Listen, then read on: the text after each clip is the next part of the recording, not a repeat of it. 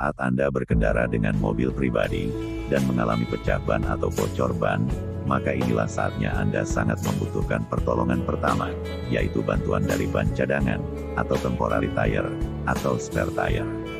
Apa itu ban cadangan? Mari simak penjelasannya berikut ini.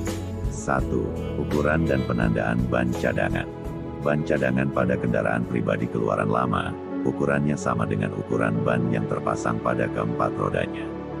Namun, saat ini kendaraan keluaran baru, sudah menggunakan ban cadangan dengan ukuran lebih kecil dengan pelek kaleng.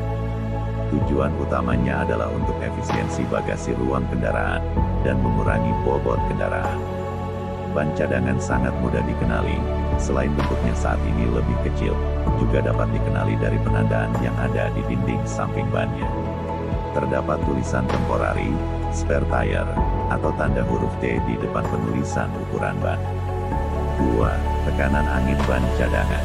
Tekanan angin ban cadangan sudah tertera pada dinding samping ban dengan tekanan lebih tinggi dari ukuran standar. Tekanan angin harus disetting maksimum agar mampu menahan beban maksimum dari ban. 3. Ban cadangan memiliki kemampuan terbatas. Ban cadangan memiliki kemampuan terbatas karena sifatnya hanya sebagai ban cadangan.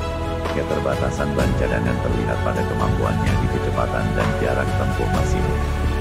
Batas kecepatan maksimum sudah tertera pada dinding samping ban berupa simbol kecepatan ban. Untuk jarak tempuh ban cadangan yang disarankan, hanya untuk sampai ke bengkel terdekat. Jadi, segeralah ke bengkel terdekat untuk mengganti ban utama yang bocor, dan menyimpan kembali ban cadangannya.